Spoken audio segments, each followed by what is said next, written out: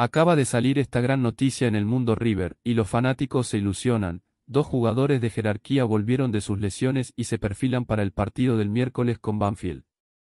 Para estar al tanto de las últimas noticias de River, suscríbete ya mismo al canal. River Plate continúa preparándose para su próximo encuentro en el Campeonato de Fútbol Argentino, en el que se enfrentará a Banfield en Córdoba este miércoles.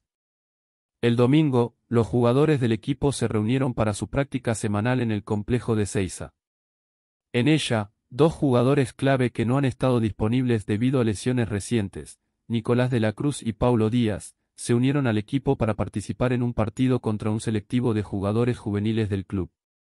Díaz, defensa central chileno, reemplazó a David Martínez en el segundo tiempo, mientras que el uruguayo de la Cruz jugó para el selectivo en el partido que se disputó en dos tiempos de 30 minutos y terminó con un resultado final de 3 a 0, con dos goles del delantero venezolano Salomón Rondón y uno de Rodrigo Aliendro.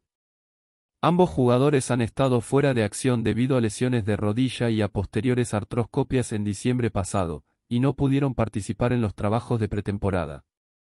Sin embargo, recibieron el alta médica recién la semana pasada y pudieron unirse al equipo en esta última práctica. Para De la Cruz, el partido ante Ghana en el Mundial de Qatar del 2 de diciembre pasado fue su último encuentro oficial, donde jugó durante 24 minutos en fase de grupos. Por otro lado, el último partido de Díaz fue en un amistoso con Chile, sumando 90 minutos ante Eslovaquia en noviembre pasado. El equipo de River formó con Centurión, Herrera, Maidana, David Martínez, sustituido por Paulo Díaz, y Elías Gómez, Simón, Aliendro, Palavecino y Alfonso, Beltrán y Rondón en la práctica del domingo.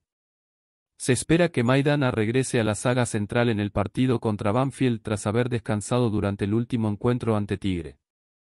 Sin embargo, queda en duda si Ezequiel Barco será titular o no desde el arranque. Además, se ha confirmado que Leandro González Pírez sufrió una fractura en una falange del dedo pequeño de la mano derecha, pero podrá seguir entrenándose con normalidad tras haberle inmovilizado tres dedos.